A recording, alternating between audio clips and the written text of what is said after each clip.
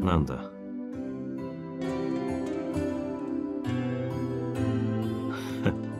少しは俺に興味を持つようになったか。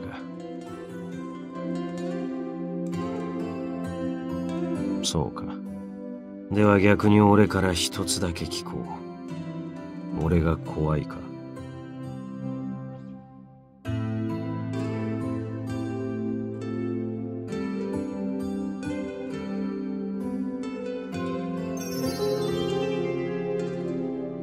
ようやく分かったようだな。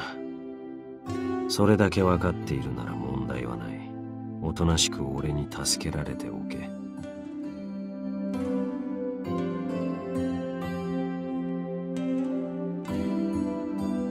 俺がこの今日の地にいる理由だがここには神社と仏閣が多いからな。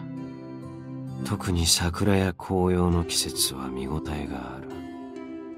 こうしてあてもなく歩くだけでも心が満たされるものだ。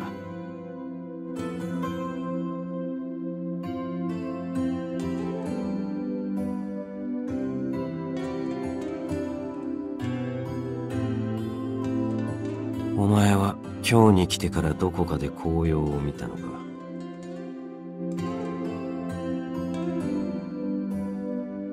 せっかく今日にいるというのに情緒も何もないのか。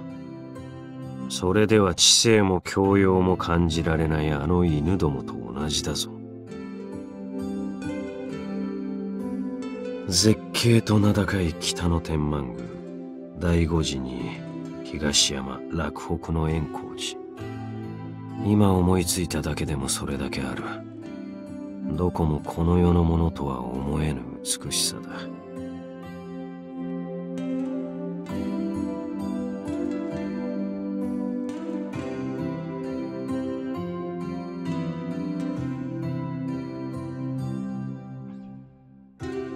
人間どもが作る文化は無粋な上にやかましくて好みに合わぬものが多い。だが奴らは時として自然の中にある樹木とは別の良さを見いだすことも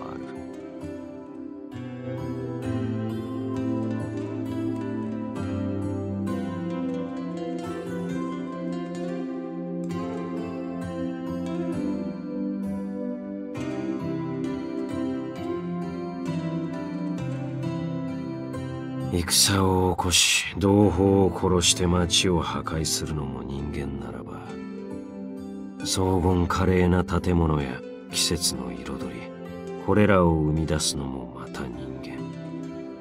それだけは奴らの見業に感服する。